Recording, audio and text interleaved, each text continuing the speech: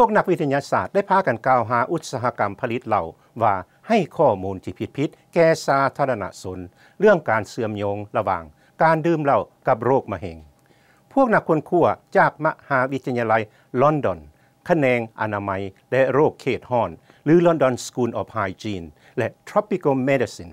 เปรียบเทียบบทบาทดังกล่าว ใส่กับความพยายามของอุตสาหกรรมยาสูบที่โต้แย้งเรื่องการเสื่อมโยงระหว่าง การสูบยากับโรคมะเร็งในปอด ซึ่งพุทธศรจะมีรายงานจากเฮนรีริชเวลมาเสนอทานเป็นภาษาลาวในอันดับต่อไป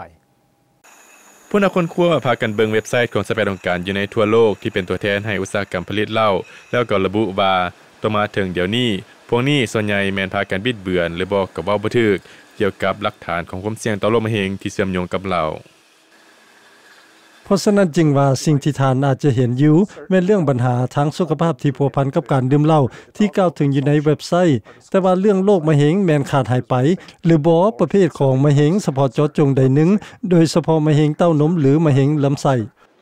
องค์การพันธมิตรนานาชาติที่มีห้องการตั้งอยู่นครหลวงวอชิงตันดีซีที่รับผิดชอบเรื่องการดื่มเหล้าหรือ IARD ได้ถือกล่าวหาว่าเฮ็ดให้มหาชนเข้าใจผิดเกี่ยวกับการเสี่ยงต่อการติดแปรโรคเร็งบางอย่างทางพยายามที่สร้างความสับสนในปัญหาดังกล่าว โดยยังเอาปัจจัยต่างๆ เข้ามายุ่งนำความเสี่ยงต่าง ๆ ทั้งหลายนั้นในแถลงการฉบับหนึ่งที่นำออกโดย VOA นั่น องค์การ IARD ได้โต้แย้งบทสรุปว่าพวกเฮามีความเชื่อในการแบ่งปันหลักฐานวิทยาศาสตร์ปัจจุบัน ยืนยันอยู่กับข้อมูลที่พวกเฮาได้จัดพิมพ์ลงเกี่ยวกับการดื่มสุราและสุขภาพ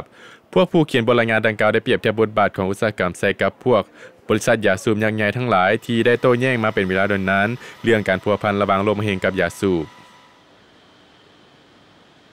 In the UK about 4% of cancers ในราษณาจักรอังกฤษประมาณ 4%ของกรณีโรคมะเร็งแม่นพัวพันกับการดื่มสุรา